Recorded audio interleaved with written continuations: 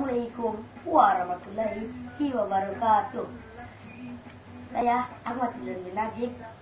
Umur saya 11 tahun. Saya bersekolah di SK Tunggallo. Hari ini saya akan menceritakan tentang selembut hati Rasulullah.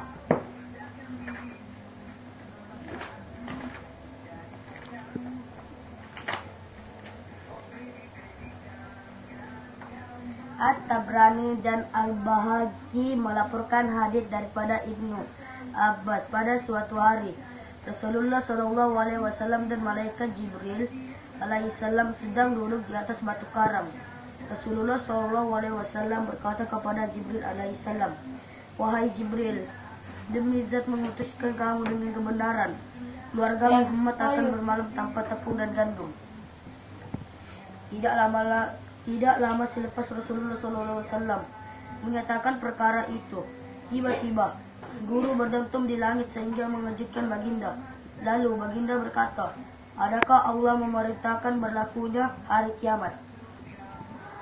Malaikat Jibril alaihissalam menjawab, Tidak, tetapi Allah memerintahkan malaikat Israfil supaya turun ketika mendengar percakapan kamu sebentar tadi.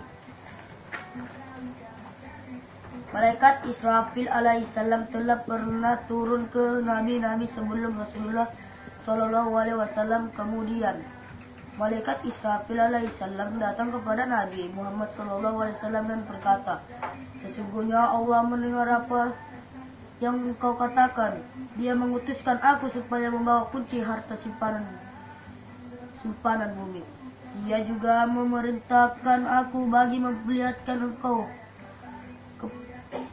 zamrud, yakut emas, dan gunung perak. Maka dapat berjalan bersama-sama kamu. Lalu, apakah engkau ingin menjadi seorang nabi dan raja ataupun nabi dan hamba?